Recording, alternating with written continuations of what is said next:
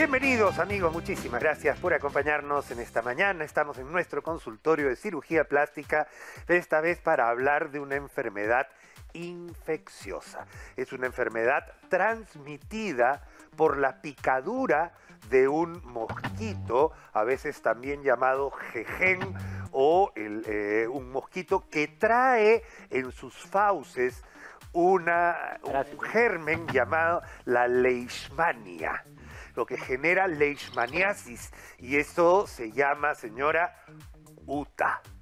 En nuestro país hay zonas endémicas de UTA y lo que generalmente uno ve son las secuelas que deja la infección por esta, eh, este germen que se llama la leishmania.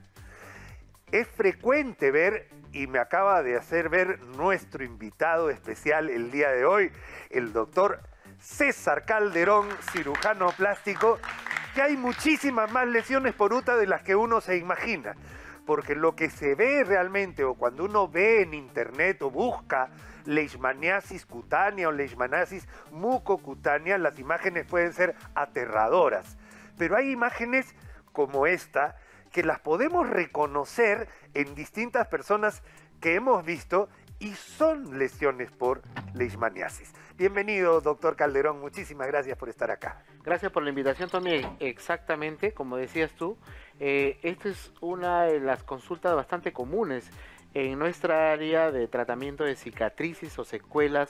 eh, de alguna lesión que pueda tener los pacientes eh, y tenemos los casos de cicatrices atróficas provocadas por o secuelas de cicatrices provocadas por lesiones por leishmania, ¿no?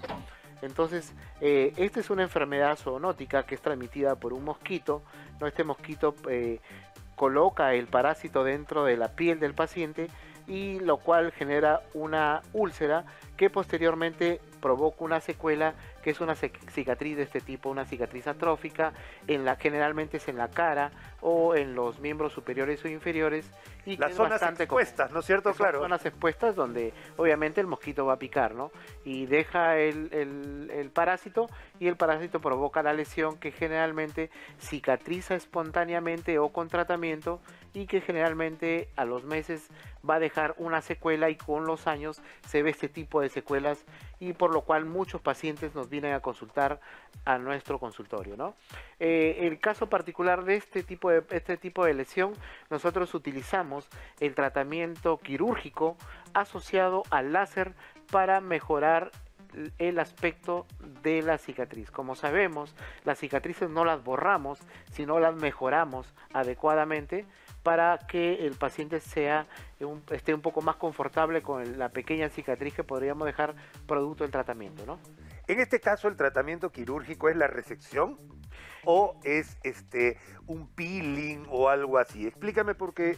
Sí, en este caso particular, por ejemplo, como la lesión era extensa, hemos hecho la resección, hemos reducido la lesión primero internamente, hemos sacado un losange ¿no? de la lesión para reducir el tamaño. Luego con lo que quedó hemos realizado un láser CO2 en modalidad puntual y fraccionada en múltiples sesiones cada dos meses o cada tres meses y este es el resultado final aproximadamente al año y medio del tratamiento quirúrgico y con láser en este tipo de paciente, ¿no?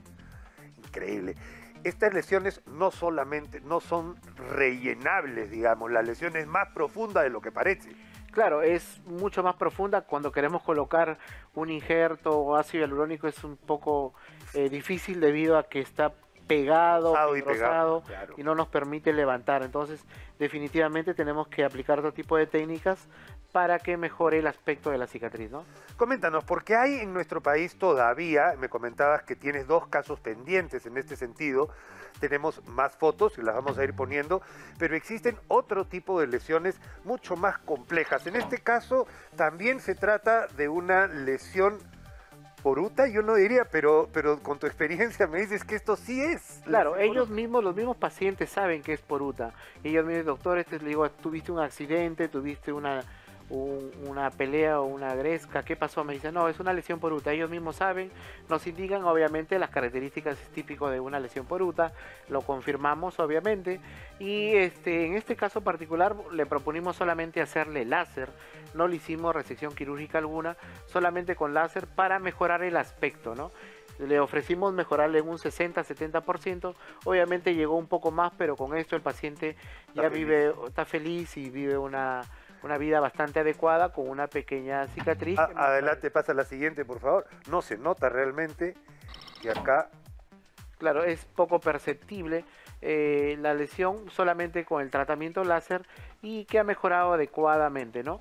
Eh, eh, también existen casos un poco más extensos, severos, que nosotros tratamos, que que nos ameritan hasta un año, dos años de tratamiento, estar con el láser, con las recesiones quirúrgicas, para finalmente dar un resultado adecuado a este tipo de pacientes. ¿no? Perfecto. Hay una cosita más que me gustaría comentar, porque cuando uno ingresa pues, a, leer UTA, se encuentra con unas imágenes espantosas a veces, porque hay versiones, hay, hay una UTA que es la leishmaniasis mucocutánea. ¿Nos puedes explicar? Porque esto afecta claramente hasta destrucción del tejido con pérdida de sustancia. Por supuesto, también tenemos este caso de... generalmente en el caso nosotros los cirujanos plásticos nos digan pacientes con lesión de eh, por leishmaniasis en la región nasal y obviamente ha habido también una invasión en la mucosa nasal con grandes deformidades para lo cual nosotros nos, representa un reto reconstructivo en este tipo de pacientes. ¿no? Eh, tengo pacientes que han perdido parte del tabique nasal, la mucosa nasal, eh, la columela y tenemos que hacer reconstrucciones nasales en estas situaciones producto de la leishmaniasis. ¿no? de la leishmaniasis. Sigue siendo endémica en nuestro país, o sea, hay casos, en otros países no existe. Claro, no, este, obviamente está destinado endémicamente a determinados países. Eh, este tipo de leishmania cutánea generalmente se ve en, estos países como Perú, Bolivia, Ecuador, Brasil, ¿no? Es bastante común y sobre todo en la sierra. Eh, tengo la Sierra de la Libertad, yo eh, atiendo pacientes de la Sierra de Libertad, de la Sierra Central, también que vienen con este tipo de lesiones y nosotros eh, damos el tratamiento adecuado desde el punto de vista de cirugía plástica en, en reconstrucción o reparación de cicatrices, ¿no? Porque el tratamiento infeccioso lo dan los infectólogos o los médicos correspondientes, ¿no? Claro, esto no se puede manejar en enfermedad activa. No, solamente nosotros, yo, eh, nuestro consultorio de cirugía plástica se dedica estrictamente a las secuelas de la UTA. De la UTA en las cicatrices por secuela de UTA. ¿no? Es, impresionante, en muchos países ni siquiera se ven estos. Este, el, tratamiento puede incluir, pues, que puede durar hasta un año y medio. Y las sesiones están separadas cada dos meses más o menos. Cada dos meses aproximadamente las, las sesiones de láser, eh, porque de todas maneras el láser provoca una pequeña eh, quemadura controlada que a veces puede provocar hipopigmentación o hiperpigmentación que es temporal generalmente y eh, evitamos en lo posible de agregar recargar de inflamación al tejido y le damos el tiempo adecuado, puede ser dos meses o tres meses para reiniciar el tratamiento con un láser. ¿no? Perfecto. Ha venido a revolucionar el láser, el manejo cicatrizal de una manera tremenda, pero gracias a las manos experimentadas de cirujanos plásticos experimentados es que se puede lograr este éxito en los tratamientos. Te agradezco mucho, hemos tocado una enfermedad que no habíamos tocado antes y quizás nos puedas traer material nuevo de esos pacientes que están esperando eh, la mano prodigiosa para poder manejar estas situaciones. Si nos puedes traer material para ver lo que se ve en nuestra Sierra Central, con esto te agradecería mucho y tocarlo en otro día que podamos ver si, eh, lesiones más agresivas acerca de esta enfermedad endémica en nuestro país.